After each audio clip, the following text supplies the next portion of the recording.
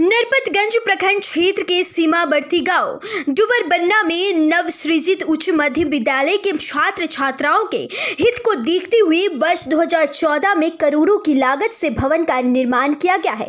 परंतु नौ वर्ष बीत जाने के बावजूद भी भवन में बच्चों का पढ़ाई कार्य प्रारंभ नहीं किया गया है। और बताते चले कि भवन जर्जर की स्थिति में हो गया है।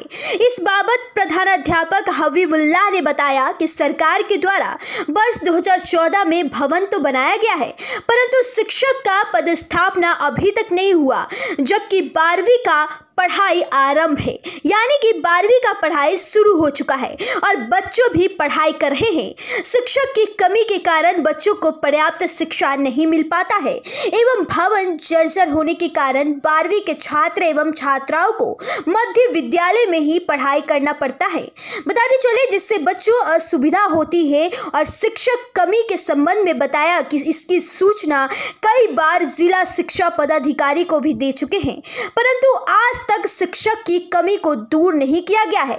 मध्य विद्यालय में कुल पाँच छात्र छात्रा पढ़ रहे हैं, जिसमें मात्र नौ शिक्षक हैं छः पुरुष, तीन महिला इन शिक्षकों के द्वारा उच्च शिक्षा का संचालन किया जाता है। प्रधानाध्यापक ने एक और भी खुलासा किया कि विद्यालय के बेंच डेस्क की भारी कमी है जिससे बच्चों को बैठने में काफ़ी कठिनाइयों का सामना करना पड़ता है। निधि सिंह के साथ रंजित ठाकुर की रिपोर्ट।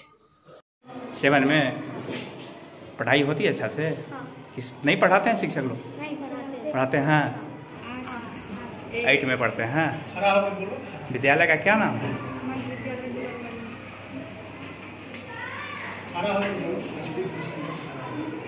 कितने में पढ़ते हैं? एट में। विद्यालय क्या नाम है? आपको ज़रूरत आपके यहाँ सारा व्यवस्था है विद्यालय के अंदर में? हाँ। पढ़ाई होती है? हाँ। कितने में पढ़ते हैं आप? फाइव में। नीचे में ही बैठने का व्यवस्था आप लोगों का है?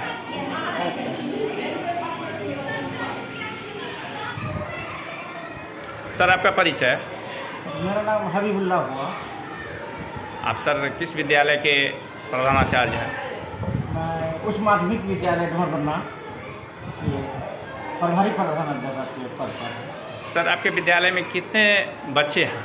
मेरे यहाँ पाँच सौ अंठानवे बच्चे नामांकित हैं। तो सर बारहवीं में आपके यहाँ कितने बच्चे हैं?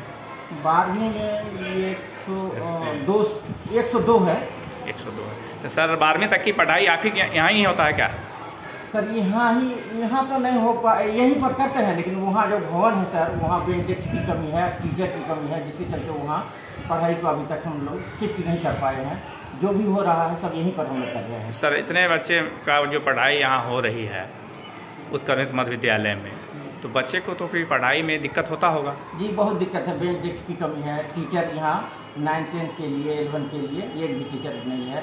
जो भी है मिडिल तक के ही टीचर है। उसी से हम लोग किसी तरह काम चला कितने टीचर हैं। मिडिल तक? मिडिल एक से लेकर के आठ तक के लिए यहाँ नौ टीचर अभी उपलब्ध है। बाकी उच्च शिक्षा के लिए यहाँ आपके यहाँ शिक्षक नहीं उपलब्ध है? बाकी उच्च शिक्षा के लिए यहाँ पर कोई टीचर अभी तक अवेलेबल नहीं है। तो बच्चे का तो भविष्य अंधकार में है।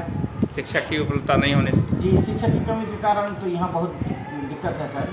हम लोग कई बार विभाग को भी अवगत करा चुके हैं लेकिन अभी तक कोई टीचर यहाँ नहीं भेजा गया। है यहाँ बेंच डेस्क की क्या स्थिति है सर सर यहाँ बेंच डेस्क बहुत कम है सर नाइन्थ टेंथ के लिए तो एक भी बेंच डेस्क नहीं दिया अभी तक। वही जो एक से लेकर आठ तक है इसी में दस बारह जोड़ा बेंच है उसी से हम लोग काम चला रहे हैं। एक से लेकर के पाँच तक के विद्यार्थी को हम लोग नीचे ही बैठाते हैं बोरा में दरी में किसी तरह काम चलाओ करते हैं यानी उसके लिए बेंच डेस्क की व्यवस्था नहीं? नहीं जी अभी तक बेंच डेस्क के लिए कोई व्यवस्था नहीं हुआ। कई बार हम लोग विभाग को भी लिख करके दिए हैं लेकिन अभी तक कोई इसमें ध्यान नहीं आपके यहाँ शौचालय का क्या व्यवस्था है सर? शौचालय वर्तमान में दो गो मिला है जो निर्माणाधीन है। काम लगभग लगभग पूरा होने पर ही है। उच्च विद्यालय में क्या सर वहाँ शौचालय उचालय का व्यवस्था है क्या? जी सर वो, तो सेटिंग तो ही में है रूम में ही अंदर है अटैच है